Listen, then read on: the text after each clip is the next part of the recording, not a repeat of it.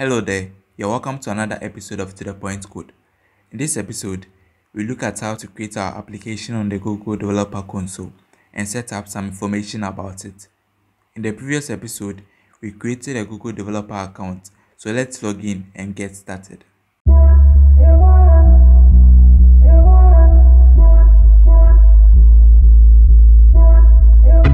So on the dashboard, we start by creating the app. Now we enter the details on the page and create the app. So first, we provide a name. We select the default language here too. Now application is an app, so we select app. Now whether it is free or paid, our application is free. Now the choice you make here is very important because once you've published the application, a free app cannot be changed to paid, but you have the chance to change the paid app to free.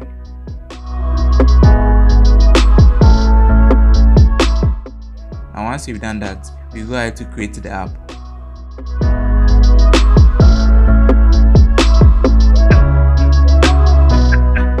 Now once on the dashboard, we need to fill some details. So we'll do that under set up your application. We have to make sure that we've handled all these tasks. So we start with the app access.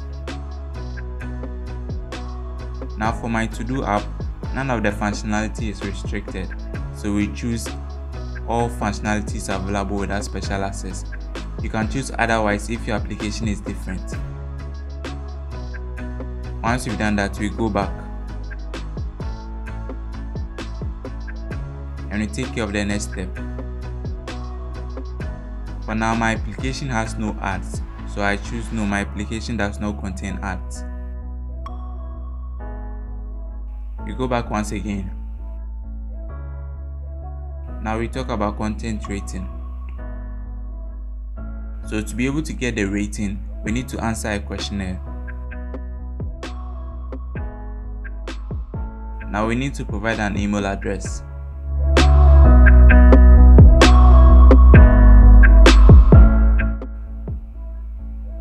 Now for the category, I'll choose utility because this is just a to-do app. Now violence, no. Sexuality, no. Offensive language, no. Substance, no.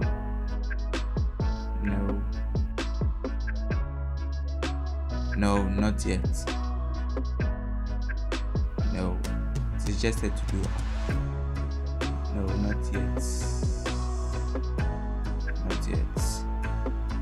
No, it's not a search engine. Now we can click on save. Once you've done that, we go to next. Now we are provided with the ratings for our application. So once we have them, we go ahead to submit. Now we can go back to our dashboard. So we proceed to the target audience.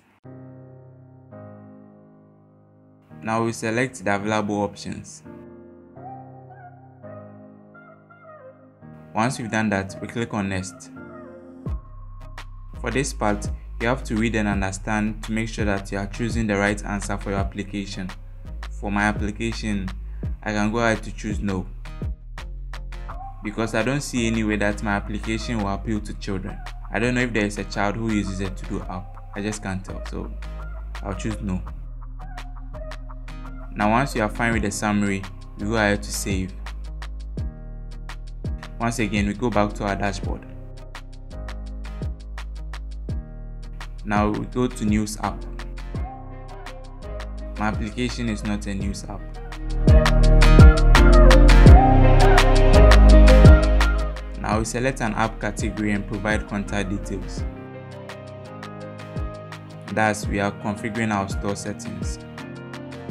Now application is an app and a category. We choose productivity. Once again, you have to choose whatever best suits your application. For the tags, I'll go ahead to choose productivity again. I don't think there's a tag for to do. like I'll choose that one too. So we do with the productivity for now.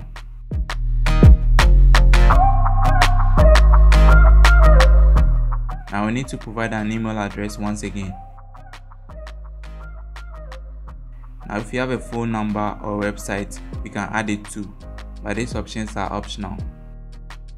Now we can allow Google to market our app for us, so we keep this box checked. Once you've done that, we go ahead to save.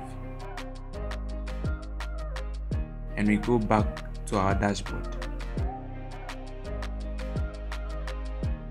Now we need to set up our store listing. Now for this section, we will need some files. This will include graphics about our application and also mobile screenshots. We also need screenshots for tablets among others. So in order to proceed, we need to get all these files in their correct dimensions.